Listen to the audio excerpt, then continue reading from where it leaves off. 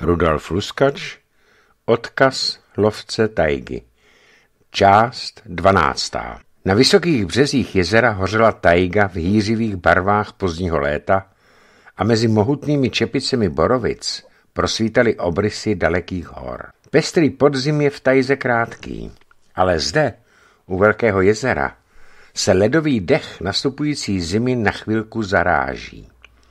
Snad proto vybarvila příroda jezero takovou dlouhotrvající krásou, aby poskytla posledním poutníkům příjemný odpočinek. Od severu letí tisíce různých stěhovacích okřídlenců. Když začíná zima, mohou si zde na cestě k jihu odpočinout, pokochat se nádherným pohledem a zatesknit pokraji, jejich opouštějí. Jistě se sem zase vrátí. Do zimy bylo ještě daleko ale Čižovova slova nám již připomněla, že se blíží. Zde bývala bohatá loviště sobolů a i dnes se zde tito nositelé zlatých kožíšků vyskytují. Olek chtěl nalíčit několik pastí, ale Jemenka i Čižovo odradili. I kdyby se některý sobol chytl, zašel by hlady, než se vrátíme k jezeru. Byla to obrovská vodní nádrž. Rozprostírá se v délce 50 kilometrů a její povrch se ztrácí zrakům v zeleném stínu vysokých porostů, které leží ve vodě. Protějčí břeh se slévá se světlým pozadím skal. V tomto místě je 6 kilometrů k protějšímu břehu a tam za misem, tam je 20. Dvakrát jsem ho přeplul na voru. Vyprávění o bohatství ryb mě přivedlo do pokušení vyzkoušet ve zbývající chvilce dne rybářské štěstí. Připravil jsem si prut a vybral třpitky, jimiž jsem se chtěl pokusit pršelstít zdejší ryby. Již, již jsem spěchal k vodě, když mě volala Tamara. Dosti neochotně jsem se vrátil, nebo rybářská horečka někdy zapůsobí silněji než ta lovecká. Ptám se, co si přeje. Tamara ukázala na sedla a řekla. Polesný šum, Šulgin přece tvrdil, že se soumaru přetrhl po pruh sedla a proto zůstal dlouhou dobu na lesním hřbitově. Poleďte. Pozorně jsem si prohlížel sedlo Šulginova soumara. Bylo téměř v pořádku, až na několik velkých stehů šitých horkou jehlou, což ovšem nenasvědčovalo, že by byl popruh přetažen. Dosti nevrle jsem namítl. Nechápu, proč si takových maličkostí všímáte. Je zřejmé, že popruh byl opravován. A že nebyl přetržen? No, tím lépe. Snad si Šulgin někde zřívnul a vymluvil se na sedlo. Možná, že máte pravdu, odpověděla dívka poněkud podrážděné. Ale jeho výmluvy se mi nějak nelíbí. Pokrčil jsem rameny a v duchu jsem si řekl, jak podezřívavé dovedou být ženy. Zejména jednáli se o muže, k němuž měří své sympatie nebo antipatie vztahem k druhému, který se těší její větší náklonosti. Nedalo mi to, a zeptal jsem se, zdali prohlédla také Olegovo sedlo. No prostě z opatrnosti a předvídavosti, aby se na něm nic neporušilo, neprasklo a mládenec se náhodou neuhodil. Zardila se a vyhrkla. To je provokace! Jste neustivý a překračujete meze. Slušnosti? Tázal jsem se. Ne, ale toho, co byste neměl říkat, když už víte, že... E, že... Dotkl jsem se vašich citů. Tamara zčervenala ještě více. Leďte, Tamaro. Vidím, že Olek vám není lhostejný. Pozoroval to i polesný Šulgin. A snažil se ze čtveráctví vašeho geologa zesměšňovat. To já jsem dalek. Olek Ivanovič je opravdu slušný, rozvážný a celkem za to skvělý hoch. A vím, že se mu líbíte. Proč tedy stavíte mezi sebe hradby? To jste si asi vymyslel. Já o žádných hradbách nic nevím. Zaj... Zajímavé. Bude nejlépe, když o tom Olegovi řeknu, aby věděl, na čem je. Opovažte se! Mávl jsem rukou a šel. Táhlo mě to k jezeru, kde podle slov Jemenky rejdili síhovití pstruzy, zde zvaní lenoci a nádherní tajmeni. Záleželo mi hlavně na tajmenech. Vždyť to jsou lososy, jejichž latinský název nám neříká nic jiného než ruský. Hucho tajmen, čili Losos Tajmen. U jezera jsem se setkal hned s potíží. Břehy byly příkré a neschůdné. Šel jsem tedy k ústí řeky a tam jsem našel vhodné místo k vrhání cpitky. Naviják zabzučel, šňůra prořízla fistulý vzduch a cpitka pleskla na vodu. S napětím jsem čekal výsledek navíjení, ale nedostavil se. Házel jsem znovu a znovu a stále bezvýsledně. Zřejmě nebylo blízkavé v nadidlo pro zdejší dravé ryby přitaživé. Přešel jsem i na jiná místa, ale všechny pokusy přelstit tajmena končily fiaskem. S povděkem bych nyní kvitoval i zabrání síhovitého pstruha a zatím ani ten neměl chuť k bližšímu seznámení. Tu to máte. Vychvalovaná voda v hluboké tajze – zde prý dosahovali náhodní rybáři bez pořádného náčiní neuvěřitelných úlovků. Já se svým štípaným prutem, multiplikačním navijákem a převody rychlostí, ideální šňůrou a celým arzenálem třpitek jsem neměl nejmenšího úspěchu. Ba i medvědi zde prý loví celé hory ryb. Sotva jsem však tuto pro jezero i řeku potupnou věc domyslel, trhlo něco prutem, div, že mi nevypadl z ruky. Ale jak v takovém překvapujícím okamžiku se osvědčuje návyk.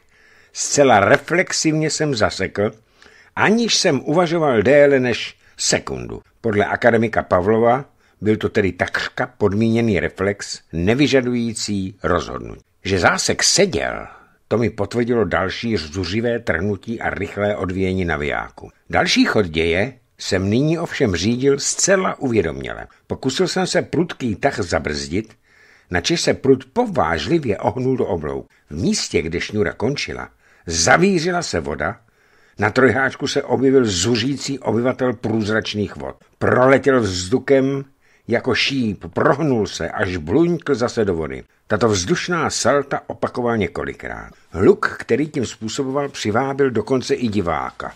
Byl to Olek. Běžel po břehu a volal. Co se to děje? Pohrozil jsem mu rukou, aby zbytečně redámusil a neukazoval se v plné kráse a velikosti. A pak jsem se věnoval opět rybě. Po několika dalších skocích losos zeslábl a za zdánlivě nekonečných deset minut jsem ho konečně vedl ke břehu. Poodvedl jsem ho až na dosah háku a tak jsem jej šťastně vytáhl na sou. Byl to nádherný exemplář. Lišil se poněkud od evropských lososů barvou svého ošupinění. Byl štíhlejší, světlejší, stříbřitě lesklý. Olek odhadoval lososa na 10 až 12 kilogramů. Avšak později se ukázalo, že vážil plných 14. Úlovek zbudil v tábořišti všeobecné uznání snad proto, že o mých rybářských schopnostech neměli předtím volného mínění. Večeře nám chutnala znamenitě. Polévku z hlušců a pečené jeřábky doplnil výživný nákyp s jahodami, které se podobaly ostružinám. Nepostradatelný čaj jsme pak pili až do západu slunce. Modrofialový tón oblohy se proměnil v barvu hyacin. Tam, kde se před chvílí ponořilo slunce, kvetly ještě gigantické hyacinty, ale postupně vadly a mizely za tmavou nebeskou oponou. Srpek měsíce plul jako stříbrný luk častnými večerními oblaky a z nekonečných dálek zasvětelkovaly hvězdy. Byl jsem velmi unaven a nemohl jsem proto hned usnout. Olek se neklidně převracel také ve svém pitu. Zeptal jsem se ho, proč nespí. Nevím, něco mě tíží, povzdechl. Snad si děláte zbytečné starosti. A co vy, Rudolfe Rudolfoviči, víte o mých starostech? Víc, než si myslíte. Abyste mohl lépe spát, prozradím vám něco, co bych vlastně ani neměl, protože si to Tamara nepřála. Tamara? zvolal Olek a vyprosil se ze spacího pytle. Něco vám řekla? Řekla i neřekla. Ale nevěděl jsem, že vy, člověk se zdravými smysly, máte společné vlastnosti s tokajícím hlušcem. Nevidíte, neslyšíte. Jste ovšem poněkud v lepší situaci, protože vám já mohu otevřít oči. Geolog se rozesmál, vstal a rozsvítil stanovou lucernu. Pak si sedl, skřížil ruce na kolena a pravil. Poslouchám. A abych viděl, oč jde, tak jsem si rozsvítil. Napněte příteli sluch a otevřete uši tam, kde je toho třeba. Tamara na vás může oči nechat a vy, zvyklí hledat poklady v zemi, všímáte si všeho možného i nemožného, ale že vedle sebe máte živý poklad tajgy, to nevidíte. Bude pro vás nejlépe, když si v hlavě urovnáte všechny litosféry, hydrosféry, tektoniky a petrografii a přejdete z bádání o různorodém uložení hornin na pozvání vlastního nitra. Lech pochopil, na co narážím a seděl zcela tiše. Zdálo se, že se opravdu pokouší proskoumat své nitro a pak s povzdechem řekl, ach, opravdu, zdá se mi, že jsem zamilová. Je však podivné, že do osoby, kterou znám tak krátce, je tu nedořekl. A pohnul rameny, jako by mu bylo zima. Mluvu ti stříbro, uvažoval jsem nahlas.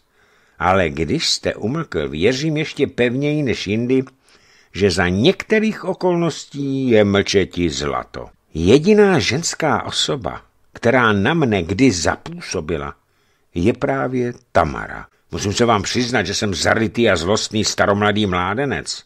Několik let se věnuji výhradně vědecké práci a nemám snad ani čas všímat si dívek. Nežertujete? Ptal jsem se nedůvěřivě. Nikdy jsem Rudolfoviči nemluvil vážněji.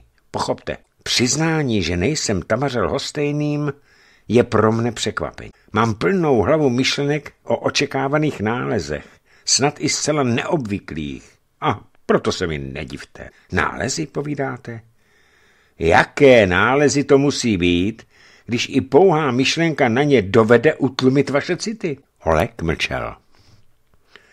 Mimo děk jsem si vzpomněl na starého zaníceného školního inspektora a geologa Ivana Fomiče Feklistova a jeho hledání a bádání v tajze. že by vnuk dědil jeho vlastnosti? Že by snad dokonce šel za určitým cílem a nás balamotil lovem živých sobolů? Na Olegově tváři se objevil výraz spola udivený a spola přísný. Odkašlal si a pomalu promluvil. Mám své záliby, které mě zaujaly víc než cokoliv jiného. Ale nyní vidím, že je vše dočasné. Bál jsem se, že se zesměšním, když Tamaře projevím něco víc než pozornost. Řekl jste, že ona cítí ke mně, no, řeknu třeba náklonost. A tím jste mě vlastně vyvedl ze slepé uličky, kde bezvýchodně uvázly mé city. Pomohl jste mi, Rudolfe Rudolfoviči, jako málo kdo. Jen nechte chvalospěvů. Budete teď aspoň klidně spát. Snad ještě hůř. Nevím totiž dobře, co mám zítra říci, co udělat. Zcela jednoduchou věc. Jděte k Tamaře a řekněte jí totéž, co mě, a přidejte ještě to, co jste nedořekl a co je určeno jenom pro ní. A teď dobrou noc. Svět je malý a lecos se v něm opakuje. Zde, v tomto kraji nepřehledné talgy, tajgy, se stala kdysi zapříčením Ivana Fomiče Olegova, děda, Majul Orlovovou manželkou a posléze babičkou Tamary. Nyní se tato dvě vnoučata seznámila. A kdo ví, zda mé domluvy nenapomohou k námluvám. Únava a ospalost mi konečně zavřely oči.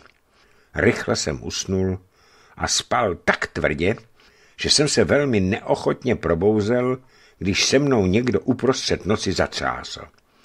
Byl to Olek. Co si volal, nevšímal jsem jeho slova, ani jsem to nevnímal, neboť jsem ještě zcela neprocitl. Slyšíte, co se děje? Opakoval chvějícím se hlasem. Neslyšel jsem nic. A chtěl jsem ho důrazně napomenout, že ho tlačila noční můra a olupuje-li ho ospánek, nemusí budit svého společníka, nad kterým bdí sen jako ponocný. Oleg byl však ku podivu tvrdošíný. Opakoval otázku tak hlasitě, že jsem docela procitl a naslouchal. Náhle zazněly v tichu noci podivné zvuky připomínající táhlé troubení, které se stupňovalo až do řevu. Slyšíte ty příšerné zvuky? Ptal se geolog. V prvním okamžiku se i mně zdály zvuky děsivé. Ale pak jsem se rozesmál. Mládenče, myslivče, což jste nikdy neslyšel halasnou řídí jelenů? Ale počkat, počkat, zdá se mi, že to nejsou jeleni. Stal jsem a vyšel před stan. Měsíc dávno zapadl, Obloha se potáhla tmavým povlakem mrak. Byla naprostá tma. Naslouchal jsem hlasům divočiny a poněkud jsem se zachvěl. Snad to bylo zimou, ale přispěly k tomu nové zvuky, které doléhaly od ústí řeky. Z protějšího břehu náhle zaznělo táhlé troubení a ryčení. Tyto hlasy jsem poznal. Byla to raní říl. Majestátní lopatáči, králové losů, lesů volali své soky k boji o manželská práva. Tuto bojovou fanfáru jsem znal z Kale, Karélie i severu. Ale to, co se ozývalo od jezera, nahánělo poněkud bázlivému člověku hrůzu. Skřehot i funění se mísilo s hučením a ke všemu se zdálo, že někdo s klokotem poliká vodu. Takže stichlo a ozvaly se hluboké tóny chraptivých varhan. Z balaganu vyběhli naši přátelé a mlčky naslouchali příšernému nočnímu koncertu. Co tomu říkáte, Petře Andrejeviči? ptal se Olek. Něco podobného jsem ještě neslyšel. Rozespalý Jemenka stál nerozhodně se svítilnou v ruce a Starobor i Šulgin se ujeli koní, kteří neklidně řechtali a napínali provazy, jimiž byli přivázáni. Psi vrčeli, srst se jim naježila a sotva zasněl krátký povel vpřed. Zmizeli ved. Čižov zašel do chaty a vrátil se s puškou. Jemenka ho však od pochůzky zrazoval, protože v neprůhledně tmě nebyla sebelepší zbraně nic platná. Za chvíli zazněl zuřivý štěkot psů, jehož ozvěna zanikala kdesi v zátokách jezera. Pak se ozvalo svištění a ječení následované hrubokým tónem a řevem. To se několikrát opakovalo. Asi se čerti žení, uvažoval Šulgin. A vždyť tomu není vhodný čas, pohotově uh, odpověděl Starobor. Není přece bouřkání metelice. To ještě může přijít, dodal Menka. Čerti, čerti. Ale kde zůstali hafaní? Není je slyšet a nevracejí se, prohodil Čižov. Za chvilku k nám dolehlo supění a pak přiběhly lajky. Ňavkali a kňučeli, jako by se chtěli omluvit, že se vracejí s nepořízenou. Ech, vy pasové, domlouval jim Čižov. Nač váš máme, kuš a lehnou. Psi se však neuklidnili. Jeden z nich se válel na zemi a když si na něho Jemenka posvítil, uviděl, uviděli jsme, že má velkou ránu na zádech a silně barví. Nenaříkej, chlácholil ho čivo, Čižov. Necháš se být a nesplácíš, pojď, ošetřím tě. Bylo zřejmé, že psi se vrátili po těžké šarváce s neznámým nepřítelem, na něhož jejich síly nestačily. Pak zvedl Čižov lucernu, aby nás lépe viděl a řekl strojenou vážnost. Aniž bych dal hlasovat, myslím, že jednomyslně souhlasíte s pokračováním přerušeného spánku. Zítra ráno se pak podíváme k ústí řeky, co to tam strašilo. A teď dobrou noc. Vrátili jsme se tedy do stanu a debatovali jsme s Olegem chvíli o tajúplném nočním koncertě, který narušil losy v říji. Snad byli na něco podobného zvyklí. Ostatně kdo ví, co se to v Tajze odehrálo pod kříp příkrovem noci. Usínal jsem již, když se opět ozval geolog. Doufám, že ještě nespíte.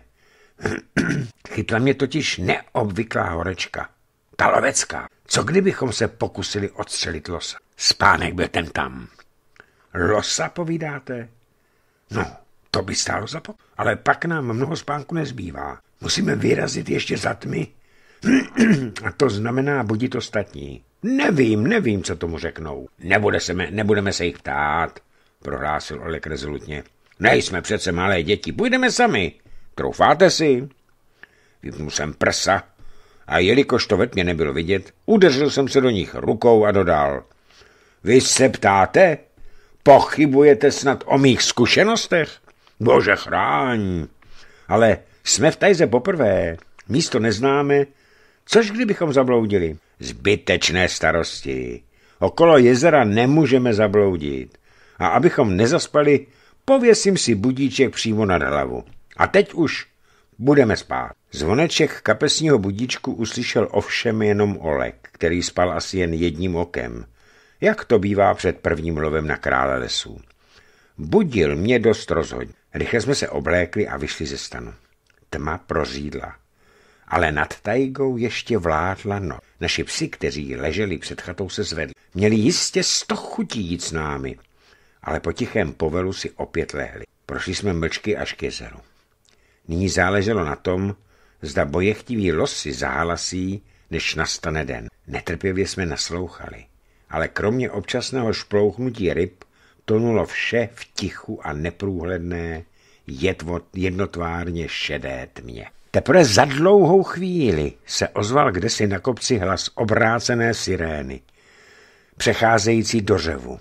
Potom se snižoval, až se vyrovnal do táhlého basového troubení. Mezi řevem zněl nářek, jakoby bolestí vynucený. Olek stál jako začarovaný a napjatě naslouchal zvukům, které nikdy neslyšel. Hlas říjícího losa zněl z jižní strany našeho břehu. Rychle jsme vykročili a šli po hlasu. Brzy jsme však nemohli dále, nebo jsme se ocitli ve strašlivém houští. Marně jsme se prokoušeli, pokoušeli jim proniknout. Nakonec se museli pokračovat v cestě podél břehu jezera. To se nám dařilo až do chvíle, kdy Olek na srázném břehu o něco klopítl. Nemohl to být kámen, neboť překážka s krátkým, ale zlostným zabručením vyskočila a odvalila se. Podle všeho to byl jezevec nebo zajíc. Chtěl se asi nechat přejít a nepočítal s možností, že se stane kamenem úrazu.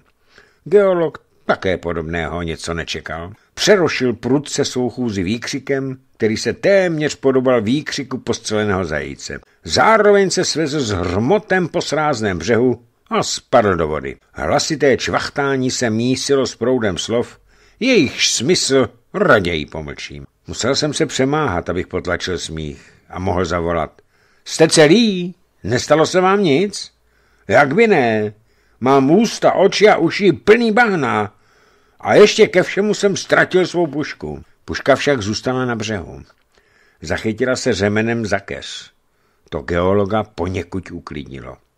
Stěží vylesl na břeh a když stál přede mnou, nebyl k poznání. I v přítmí se jeho obličel leskl jako u černocha a jen okolo očí, kde si utřel bahnu, prosvítala bílá místa. Prskal, plival a teprve u malého potůčku se zbavil černožské podoby. Vynucená koupel ho však neodradila od další chůze. Šli jsme dále po úzkém ochozu zvěře a troubení losů nám sloužilo jako vodítko směru.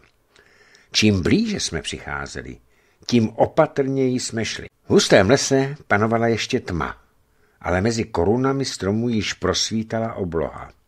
Noc bledla a poslové nového dne se již přehoupli přes hráz zem. Los přestal náhle troubit. Olek hleděl s obavou na mne. Já mu však potichu vysvětlil, že lopatáč asi naslouchá, zdali jeho výzva k boji nachází odezvu. A tentokrát také našla. Zazněl řev podobný pozdní ozvěně hlasu vyzývatele, ale ve skutečnosti byl odpovědí druhého bojechtivého losa. Řev pokračoval a sílil a podle něho jsme řídili své kroky. Den již svítal, když jsme konečně uzřeli mohutného losa na horské stráně. Stál u malé planiny, hlavu s ohromnými lopatami měl styčenou a stále se rozhlížel, jako by na něco čekal. A nemilil se. V kšoví se co si pohnulo. Los se prudce otočil a sklonil hlavu. Byla to však jenom losice, která vyzývavě poskočila a dala se na útěk. Lopatáž zafrkal a následoval až k palouku. Teprve nyní jsme spozorovali, že na kraji lesa stály další čtyři losí laně. K ním se koketní laň přidružila a poskakovala jako rozpustilá dívka, která dráždila krále lesů. Vášeň hnala losa kupředu.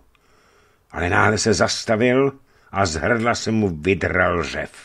Byl výstražný, ale zněla z něho i neukojená touha, která mu nedopřála klidu. Stáli jsme oba jako očarovaní a neodvažovali se učinit ani krok. Los větřil a stál nehybně se svraštělým větrníkem. Nečekaně nám pomohl jeho protivník. Z protějšího křoví vyrůstaly, vyrůstaly parohy, pak se objevila mohutná hlava a konečně se na pláni objevil impozantní lopata. Měl silnější krk než vládce řídiště a zřejmě byl připraven změřit své síly o právo stát se pánem laní. Náš los zlobně zafrkal, otevřel svírák a vyhodil na stranu jazyk. Výstraha neučila na soupeře dojem, ba naopak přiměla ho k tomu, aby vyskočil. Losice otáčely hlavy a se zájmem sledovali každý krok svých bojetivých kavalírů, kteří se bez okolku rozběhli a zaklesli se parohy. Vládce říje couvl, ale udržel se na bězích. Údery širokých chlopat se rozléhaly po tajze a musel jsem Olega uchopit, aby odtrhl zrak od bojujících a využil vhodný okamžik k rychlému přiblížení. Sotva jsme proběhli několik desítek kroků, losy od sebe odskočili a připravovali se k novému útoku. Oba chroptěli a stáli v hrozivé pohotovosti vrazit své parohy do boku do srdce protivníka. Parohy se znovu srazily a my jsme doběhli na kraj mází. Když jsme zalehli, řekl jsem geologovi šeptem, kterého losa má vzít na mušku. Sám jsem nechtěl střílet, neboť jeden los nám úplně stačil, nať zbytečně mařit životy druhého lopatáče, který se přišel být a nasazovat život pro nová losí pokolení. Česká rána. A jeden z losů, ten, který pod údery lopat svého protivníka klesl na přední běhy, vyskočil, jako by ho vymrštila vzhůru silná vzpruha. Příštím okamžiku upadl, nečekaně se zvedl a s vypětím posledních sil zasadil svému soku takovou ránu, že se zasažený zapotácel a upadl. V nejistotě, zda Olegův výstřel byl smrtelný, jsem zamířil na komoru a stiskl špoušť. Los se chtěl právě ještě zvednout a kule ho zasáhla v okamžiku, kdy klečel. V této poloze se vzepěl, zachrčel a těžce dopadl na zem. Druhý los, vzrušen bojem a naplněn samčí vášní, pochopil teprve nyní, že jeho protivníka vyřídil neznámý a strašný tvor, který se náhle objevil na pokraji houští. Los zlobně zafrkal, udeřil před ním během do země, sklonil hlavu a vzhlédl k nám pohledem, který nevěstil nic dobrého. Již, již jsem zvedl pušku, ale lopatář se zpamatoval, rychle se otočil a pádil po polaně, jako by ho poháněl sám žíhaný čert tajgy. Losice varovně zahalasili a zmizeli v blízkém porostu limp. Přistoupili jsme ke zhaslému losu a tu jsem Olegovi řekl, aby si dobře vštípil do paměti tento okamžik. Byl to jeho první los a dostali jsme ho bez veliké námahy. Byl to sibirský los a ani se moc nelišil od evropského. Mohutné lopaty byly téměř bílé, krk silný a krátký. Masivní hlava byla dlouhá, s jasně zřetelným hrbem na nose. Vrchní pisk, jako u každého losa, byl silně vyvinut a vysel přes spodní. Na bradě byl velký podbradek porostlý dlouhým vlasem, jemuž se mezi myslivci říká náušnice. Olegovi se třásly ruce. v obličeji byl červený jako pivoňka a nedokázal pronést ani slovo. Lovecká horečka se ho zmocnila takovou měrou, že si nakonec musel sednout. Prohrabával prsty losovou srst a hladil jeho ohromné parohy. Srdečně se mu blahopřál ke krásnému úlovku, ulomil jsem větvičku, smočil v losově barvuje a podal mu ji podle tradičního zvyku českých myslivců. Olek podání zálomku neznal a když jsem mu vysvětlil, co znamená, zakoktal, ale žiť jste zastřelil losa vy? Jste na omilu. Já ho pouze dostřelil, což jste mohl udělat, udělat sám. Snad jsem se i trochu unáhlil, neboť jsem na vaši druhou ránu čekal jen chvilku. Ale nechme řečí, musíme losa vyvrhnout. Vývrh jsem provedl sám. Oleg zatím zahrabával nejedlé vnitřnosti, kdežto droby, tedy játra, plíce, srdce a ledviny, jsme naložili s chvojím do bato. Pak jsme losa přikryli větvemi a spěchali k tábořišti. Zde nás přivítal Petr Andrevič poněkud nemilosrdně. Vyčítal nám, že jsme bez upozornění odešli a tím vyvolali různé dohady a zbytečné starosti. Byli jsme se v prsa a vyložili odšlo, tedy spolu. No tak tedy lovu zrár. Ale proč jste se vážený Olegu Ivanoviči koupal oblečený v bahně? Vysvětlením příhody sklidil geolog srdečný smích. Pak bylo rozhodnuto, že dovede Jemenka a starobora ke složenému losu, naloží ho na smíkadla a koněm dopraví do tábořiště. Co si počneme s takovým množstvím masa? ptal se před odchodem Oleg. Něco upečeme a vezmeme na cestu, ostatní zasolíme, uložíme do lednice, no a na zpáteční cestě odvezeme domů, vysvětloval Lemenka. Lednice? Kde by se tu vzala lednice? Dívali jsme se. Jak se vysvětlilo, byla v blízkosti lovecké chaty hluboká studna, lépe řečeno šachta, vykopaná před lety zlatokopy, kteří zde dolovali. Na dně byl led, který tál jen v nejteplejších letních dnech. Než byla zhotovena smíkadla, ujal se Čižov přinesených losích drobů. Podle místního zvyku rozřezal játra, srdce a ledviny, posolil, popepřil, přidal k ním cibuli a navlékl na březové pluty, pruty. V ohni táboráku se pak droby pekly. K tomu připravil Jemenka ještě divokou omáčku, do které se opečené kousky ponořily a pak teprve jedli. Losí šašlik chutnal všem výborně. Olek a ostatní odešli, aby přivlekli losa. K ním se přidružila také Tamara. Já s Čižovem a Šulginem jsme odešli k ústí řeky, abychom zjistili stopy tvorů, kteří nás připravili o spánek. Po dalším hledání jsme nalezli stezky, kterými zvěř chodila v noci k vodě. Několik prohlubní bylo patrně přírodními napajedly. Břeh byl kamenitý, písku bylo málo, což velmi stěžovalo hledání stop. Po chvíli jsme konečně přišli na malou písčinu, na níž Čižov poznal stopy medvědů. Ti však nemohli natropit tak příšerný hluk a proto jsme hledali dále. Šulgin se několikrát vracel, skočil posledně na velký kámen a hleděl do vody. Petře Andrejeviči volal. Našel jsem něco. Kámen byl těžce dosažitelný. Aby neriskoval koupel v šatech svého jako se Čižov a pozorně prohlížel dno. Totéž jsem učinil i já. Písečné dno bylo poseto různými stopami, ale proudící voda jejich obrysy již částečně smila. Přesto však bylo zřejmé, že to nebyly otisky medvědích tlap. Stopy byly kulaté, jinde oválné a konečně se oba Sibiřané shodli v tom, že to musela být kočkovitá šelma. Rys to nebyl, podotkl jsem. Jeho stopy znám, ty jsou menší. V tom máte pravdu, Rudolfe. Rys to asi nebyl. Uvažuji, zda to nebyl pardál a nebo tygr. Musím se přiznat, že při tomto konstatování jsem ucítil lehké šimrání na zádech. Nedal jsem ovšem na sobě nic znát. Chodil jsem po mělčině a hledal zetelnější otisky tlap nebezpečných šelem. Ale voda smila již všechny příznaky jejich přítomnosti a další hledání bylo bezvýsledné. Proto jsme se vrátili k tábořišti. Cestou jsme uvažovali, co se u napajedla asi odehrálo. Podle všeho se zde setkali medvědi s pardály nebo dokonce tigrem. Došlo k, výměna, k výměně názorů a kervačce. Že noční setkání neskončilo tragicky, bylo zřejmé z toho, že všichni účastníci zmizeli aniž uronili kapku barvy, která někdy při podobných příležitostech vydatně teče. Přítomnost kočkovitých šelem byla však zjištěna a nabádala k opatrnosti. V táboře již rozřezávali přivezeného losa. Jemenka a starobor oddělovali jednotlivé části zvěřiny a třídili je podle určení k zužitkování. Kýta a bederní pečeně se upekly loveckým způsobem.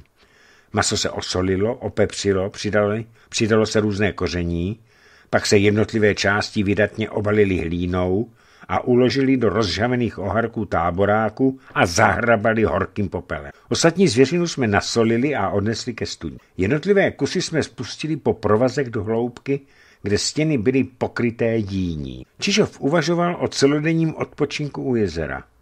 Jemenka se však proti tomu ohradil. Nemáme ještě nárok na odpočinek. Dnes musíme dorazit až k Černému vrchu. Jinak by nám ten den chyběl. Čižov se lehce uklonil a se strojenou vážností pronesl. Mluvíš lépe, než já myslím.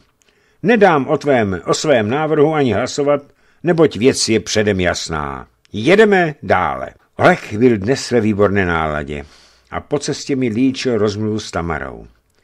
První, co mu na jeho vyznání řekla, bylo několik málo lichotivých slov na mou adresu.